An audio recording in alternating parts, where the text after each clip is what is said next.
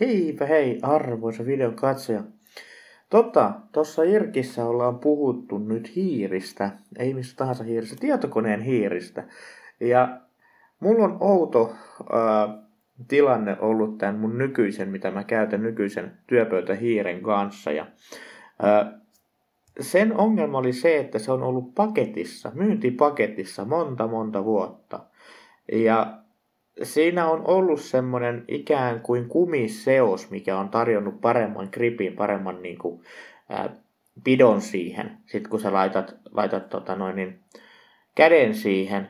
Mutta se on sitten niinku lähtenyt pehmentyä siellä paketissa ja sitten siitä on tullut semmoinen tahmea pintane. Niin mä mietin, että miten hemmetissä mä saisin sen vielä niin kuin käyttökuntoon. Että nyt kun mä laitoin siihen käden, niin se tavallaan tahmautui kiinni siihen, vaikka se on ollut siis paketissa monta monta vuotta, että se on sinänsä niin kuin puhdas.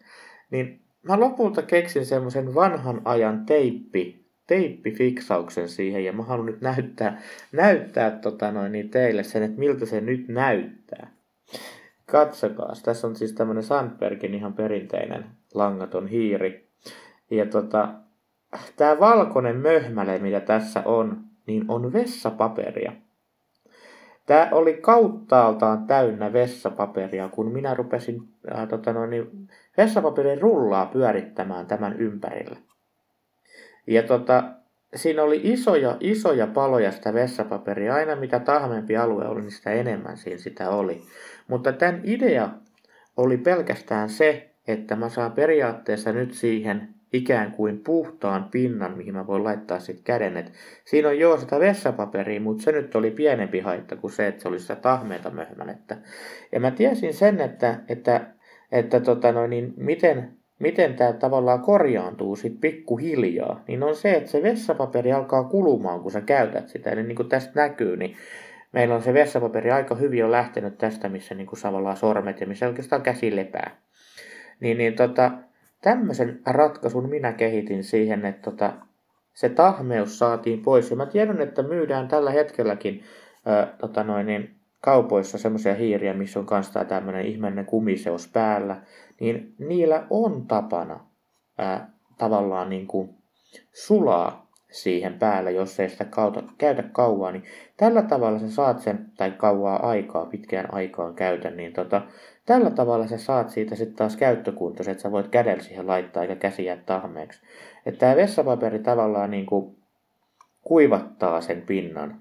Ja sitten pikkuhiljaa niin tota, se vessapaperi kuluu siitä pois, niin sitten sieltä tulee niin kuin normaali hiirenpinta esiin ja se ei ole tahme enää ollenkaan. Mutta siinä on vieläkin se pito itse asiassa tässä mulla, niin siinä on ihan hyvä pito, mutta ilmeisesti se, niin se, se sulanut, mikä siihen pintaan ikinä tuleekaan, niin se sitten on niin lähtenyt pois sen vessapaperin mukana. Eli tällainen, tämä näyttää aika karseen näköiseltä, mutta mä oon sitä mieltä, että siinä kohtaa ei ole väliä. Mäkin joudun tämän hiiren ottamaan, koska mä kyllästyin tuohon yhteen Microsoftin hiireen, mikä mulla oli, ja tota, se piti niin älytöntä meteliä. Siis se naksuttelu on aivan, aivan käsittämättömän suu, kova äänistä, niin, tota, niin, niin tota, otin sitten paketista tämän, ja tämä oli sopivan hiljainen, mutta, mutta siinä oli tosiaan se pintaongelma. Mutta näin tällä tavalla, niin, niin, niin hiiren saa, sellaisen tahmeen hiiren, niin sit saa kyllä kuntoon. Ja mä yritin putsata sitä, itse mä putsasin sen kyllä, kyllä niin kuin, tota noin, niin, ää, niin kuin liinoilla, puhdistusliinoilla, missä on jotain pesuainetta mukana.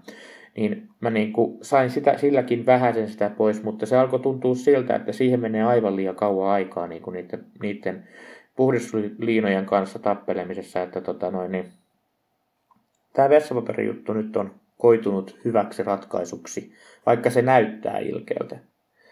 Mutta tota, mä annan tämän pikkuhiljaa tästä sitten hilseillä pois tämän paperin ja sitten onkin hiiri taas uuden näköinen. No en tiedä, onko se enää uuden näköinen, että, mutta kuitenkin niin ei tarvinnut alkaa tätä koko tätä, tätä kumiseusta tästä repimään irti, mikä olisi ollut yksi ratkaisu kanssa, mutta tota, niin kuin mä yhden Microsoftin hiiren kanssa olen tehnyt, mä oon siitä ottanut sen kokonaan pois.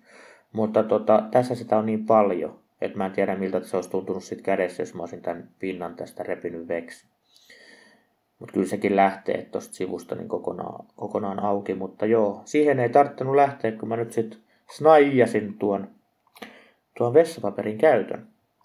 Eli vessapaperin rullalla vaan pyörittelee sitä ja sille ei mitään väliä, vaikka niitä jää siihen. Se hilseilee sitten aikanaan veksiitä ja pinta on sitten semmoinen niin kuin ihan jees, että se ei jää enää tahmeeksi.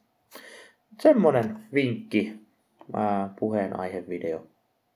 Jotain. No niin, heipä hei.